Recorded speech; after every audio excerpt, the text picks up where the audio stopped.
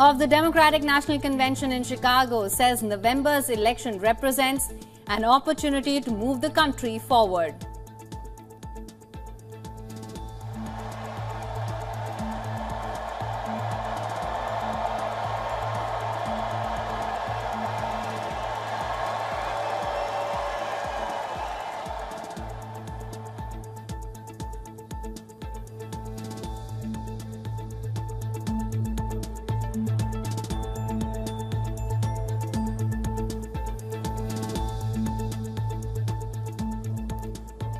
Democratic presidential nominee Kamala Harris vows to stand up for Israel's right to defend itself, but adds bloodshed in Gaza is devastating and heartbreaking.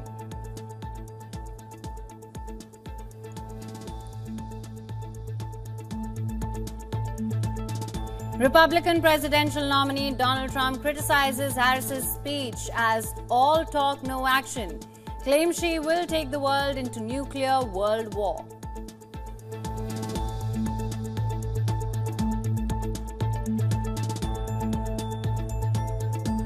India and the United States signed two important documents regarding assignment of liaison officers during Defense Minister Rajnath Singh's US visit.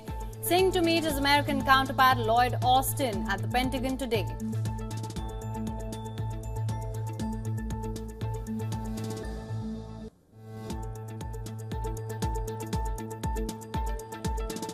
US forces destroyed two Houthi drones over the Red Sea, one drone destroyed in Houthi controlled area of Yemen.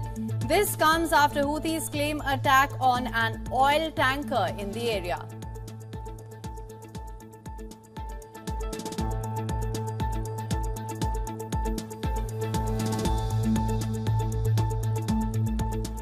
Ukraine uses US-made bomb to strike Russian platoon command post in Kursk region of Russia. Putin accuses Kiev of trying to attack Kursk region, the Kursk nuclear plant as well.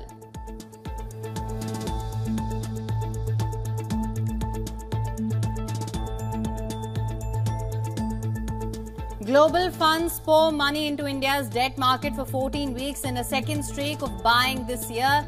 The country's securities, which recently joined a key JP Morgan index, are some of the best performing in Asia this year.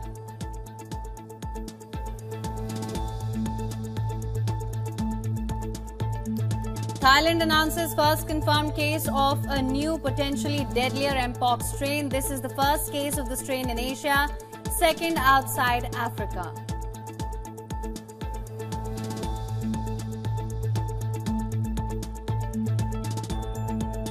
For latest news, download the WION app and subscribe to our YouTube channel.